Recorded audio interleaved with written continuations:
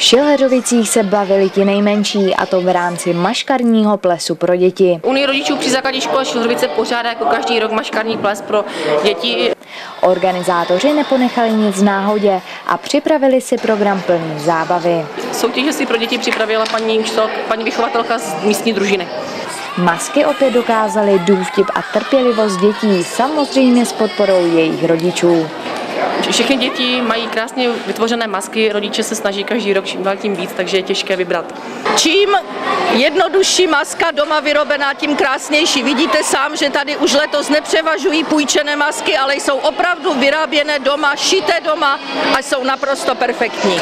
Zajímavým zpestřením byla nabídka nealkoholických a alkoholických nápojů. Pro děti máme nachystané i nealkoholické míchané nápoje a pro rodiče mírně alkoholické nápoje, které dělají vlastně bývalí žáci naší základní školy, kteří se učí barmanské, barmanským kurzem tady na střední základní škole. Na parketu pak bylo nachystáno mnoho soutěží za sladké odměny. Všechno je to jako vždycky perfektně připravené, u něj rodičů opět nesklamala. Takže naprosta spokojenost. Ráda bych poděkovala rodičům za to, že vždycky si najdou čas a udělají masku, přijdou na maškarní ples a vždycky podpoří školu. Za to jim nesmírně děkuji.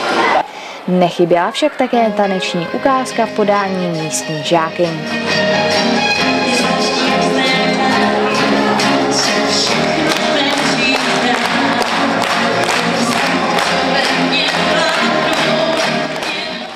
Zakoupením lístků pak děti mohly soutěžit také v bohaté tombole. Tombolu máme velmi bohatou, díky sponzorům samozřejmě, kterým tady tímto chci velmi poděkovat.